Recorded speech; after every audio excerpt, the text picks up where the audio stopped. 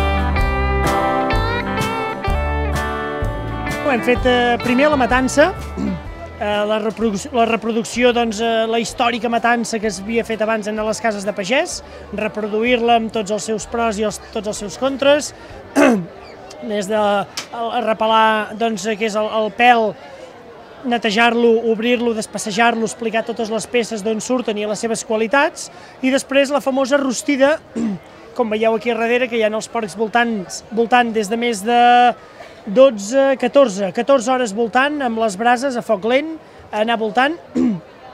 Ens dona una textura al porc super malosa, eh, amb un punt de fumat i a més a més com que a mesura que van donant voltes els anem pinzellant amb, unes, amb un barrejat d'herbes i oli i un punt de licor, doncs hi dona un gust i un punt espectacular en aquest porc rostit. En el mercat municipal, com tots sabeu, hi ha parades doncs, especialitzades en tots, en tots els camps i una d'elles és especialitzada en, en herbes de, de, per fer cuinats i infusions, etc. Doncs aquesta noia doncs, ens ha fet un preparat d'herbes collonut eh, que ens ha dit totes les, totes les herbes, excepte una que ha dit que se la reservava eh, per quan la gent ho provessin poguessin descobrir quin era el secret.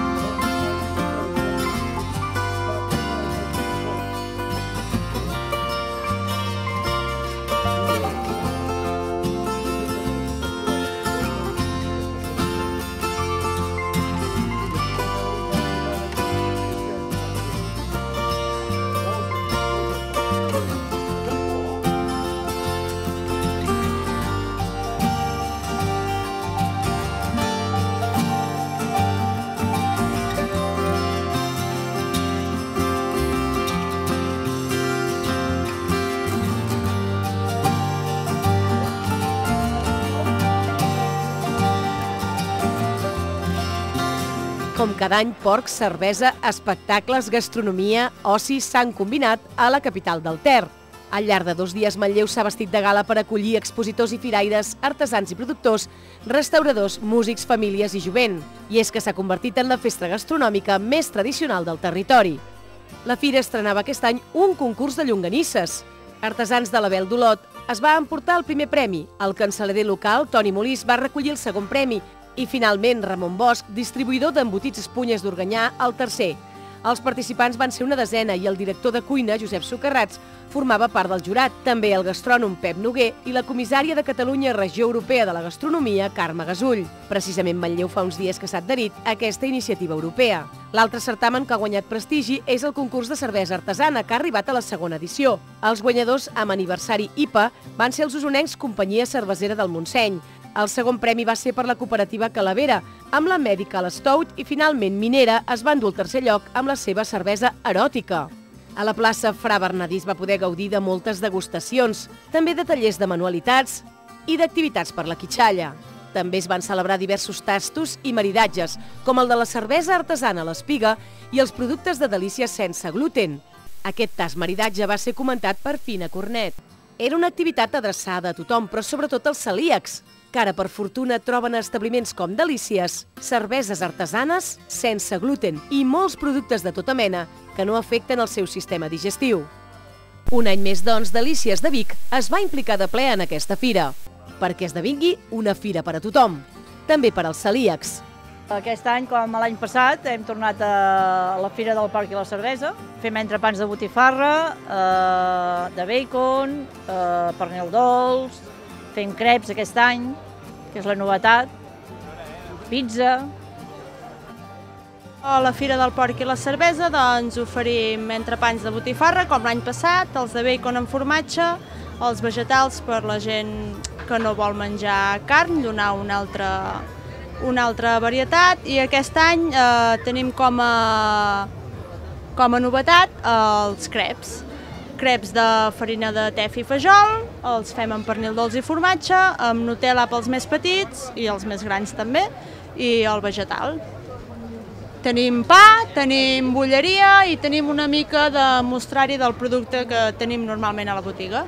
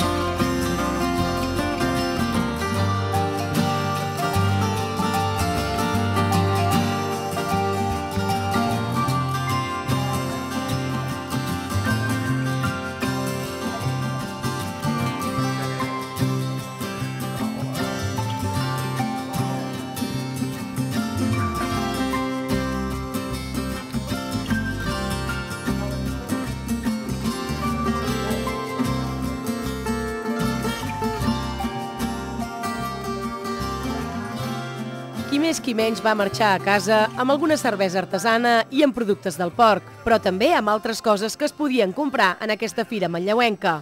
El Mercat Municipal va organitzar diferents tallers de cuina i els comerciants un any més van celebrar una desfilada de moda dels comerços del MAP i es va comptar amb les actuacions d'Off-Broadway, tot plegat a les escales de la plaça Fra Bernadí, que s'han convertit en un escenari de luxe.